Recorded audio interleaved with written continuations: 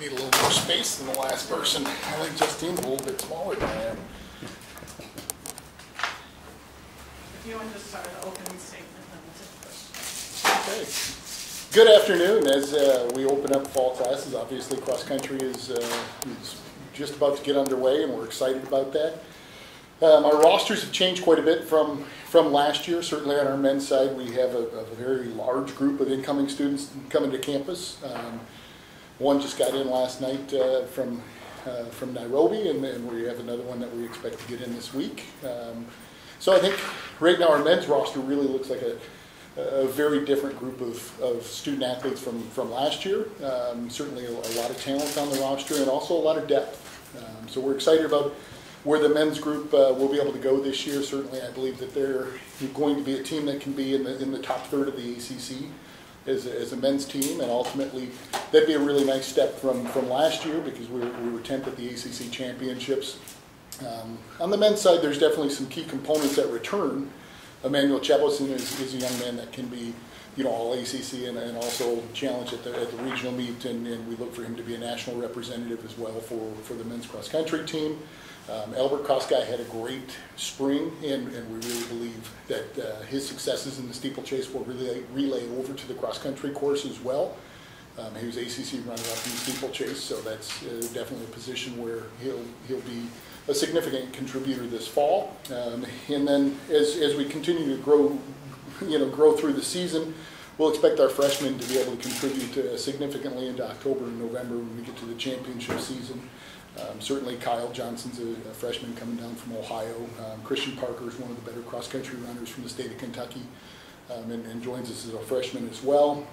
Um, Nick Geary's a local kid right here from, from Louisville that I think will be able to grow into a strong role with our men's team.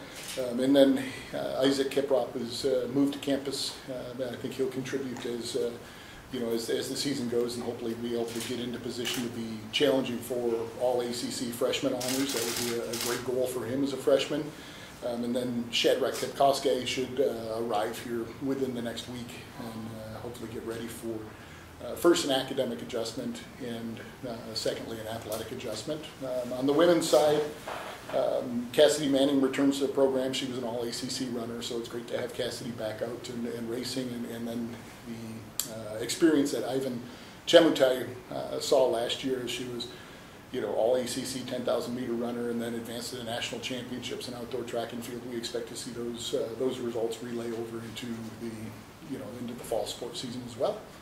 Yeah, so with that, I'll certainly be excited to take your questions. Coach on the women's side, uh, Dorcas Wasike, status on her, how's she doing?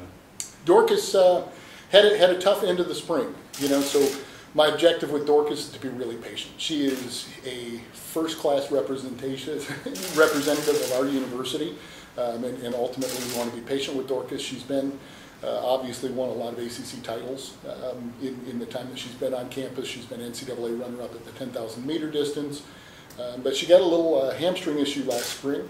So we're going to take a very slow process back um, and return to, to play, um, you know, medical game plan with Dorcas. She's doing well, uh, but ultimately we're, we're going to set her up with, with a little bit more focus on the year for indoor and outdoor track and field um, as, as the year goes got one of maybe the better practice facilities in the nation at ADP Tom Sawyer Park. Let's talk about how that helps your team in regional and national competition.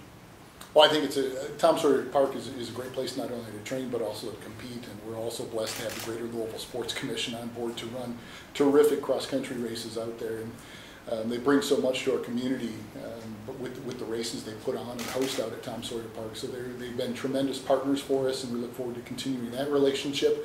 Um, but Tom Sawyer provides a, a, great training ground, as well as the rest of the local parks. I mean, I don't think that uh, our students take anything for, for granted when it comes to parks because our recreation facilities here in the metro area are as, as good as anywhere I've ever been in the country.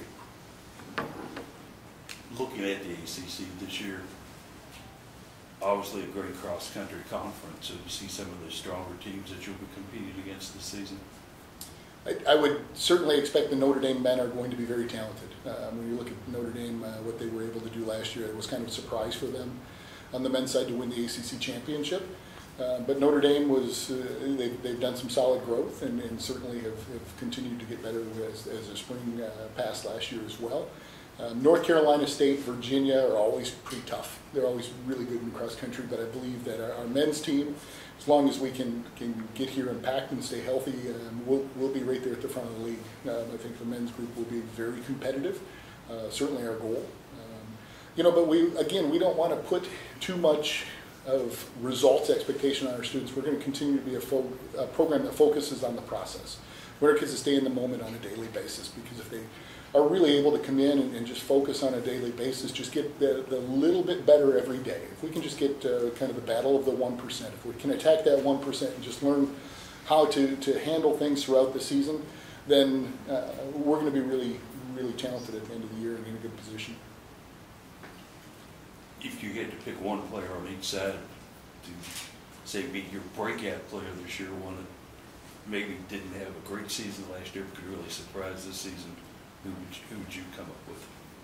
On the men's side, I think uh, both Emmanuel Chepelson and Al- and Albert Koska are both capable and ready to run with anybody in the ACC. They're, they're talented young men that have had time to adjust to, to our campus climate, are in a good situation academically. They're not going to be under too much academic stress. Um, you know, so they're, they're in a good position to be able to really make uh, strong runs this fall. Um, I, I think both can, can challenge for um, certainly all ACC, all region, um, and beyond honors. On the women's side, Ivine Chemutai is, is going to be somebody that was in the mid 40s last year at the ACC championship. I believe she was 47th at the ACC championships. Um, and I think she's just much better than that, much better than that. Now we got to knock on wood on, on that because there's there's a lot of things between now and Halloween um, that our student athletes are going to go through. So we've got to be able to, you know, be a healthy and, and b just continue to stay in the moment and get better every week. Anything else? Appreciate you.